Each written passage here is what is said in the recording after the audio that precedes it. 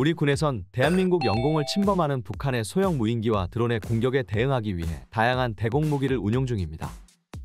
20mm 벌컨, 30mm 차륜형 대공포는 물론 휴대용 지대공 유도무기 신공, 중거리 지대공 유도무기 천공까지 갖추고 있는데요. 이에 그치지 않고 우리 군에선 2019년부터 신속성, 효율성, 경제성까지 높은 레이저 대공 무기를 개발하고 있습니다. 레이저 무기란 고출력 에너지를 직접 표적에 집중시켜 파괴하거나 무력화시키는 전력인데요. 우리 군에서 개발하고 있는 지상 고정형 블록원 레이저 대공 무기가 그 주인공입니다. 지상 고정형 블록원 레이저 대공 무기는 이미 지난해 4월 시험 평가를 통해 그 위력이 공개된 바가 있습니다. 레이저를 30회 발사해 3km 밖에 있는 무인기 30대를 모두 맞춰 100%의 명중률을 기록했는데요. 그 외 정확한 제원은 알려져 있지 않지만 20kW급 출력일 것이라 추측되고 있습니다.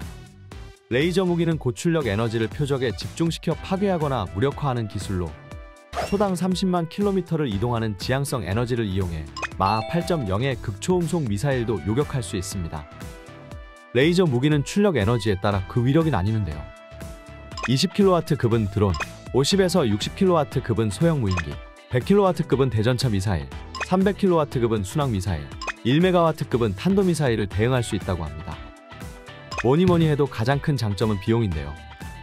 한 발당 평균 2달러로 운용이 가능하다고 알려져 있습니다. 이처럼 장점이 많은 레이저 무기. 세계 각국에서도 개발에 열을 올리고 있는데요. 지난 1월 영국군에서는 레이저 무기 드래곤 파이어를 발사해 공중 표적을 맞힌 영상을 공개했습니다. 한 발에 13달러 정도이고 1km 밖에서 동전 크기의 표적을 맞출 만큼의 정확도를 자랑한다 알려졌습니다. 이스라엘에서는 올해 전력화를 목표로 아이언돔을 보완할 레이저 무기 아이언빔을 개발 중인데요. 아이언빔은 육지와 해상 모두에서 사용이 가능하고 수백 미터에서 수 킬로미터까지의 단거리 미사일과 발사체를 격추할 수 있는 것으로 알려졌습니다. 미국에서는 테러 공격이나 대함 미사일에 대응하기 위해 레이저 무기를 활용하고 있는데요.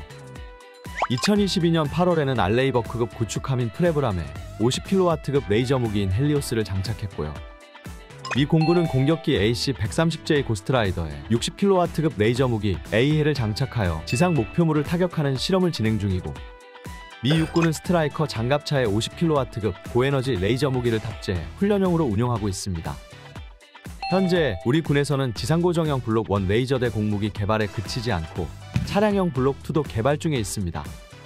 또 파괴력을 높이기 위해 300kW급 고출력 에너지 무기에 대한 연구도 착수했습니다. 다변화하는 전장 속에서 레이저 무기는 필수적인 전력으로 자리매김하고 있는데요. 하루빨리 전력화가 완료되어 우리 군의 든든한 방패가 되어주길 기대해봅니다. 지금까지 자세한 뉴스바바였습니다.